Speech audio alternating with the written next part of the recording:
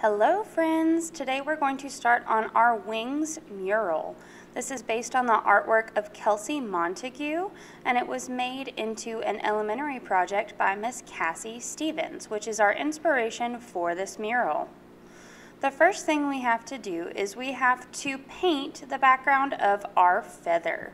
So we are taking a piece of paper, some paint, a paintbrush, cup, and a paper towel.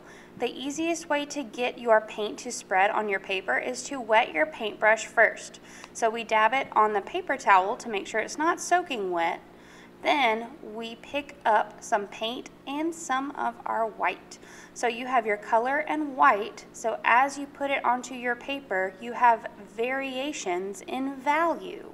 That means that there are some areas of light and some areas of dark so that even though we're using one color on our paper, it's not just a boring flat color. There are some spaces that are different. And you can do this by just continuing to swipe your paintbrush all over your paper. The more you move, the more it blends in, so we don't want to blend it too much, but we do want to make sure it covers our entire paper.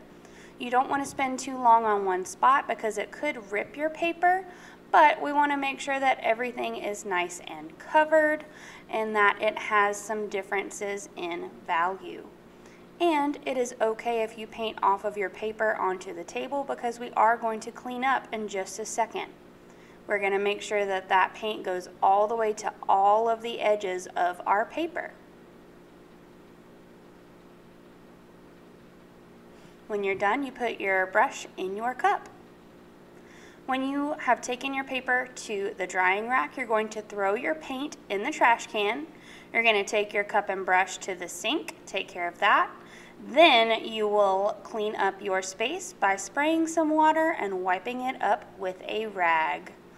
Remember, throw your paint away, then take care of your brush, then clean your table.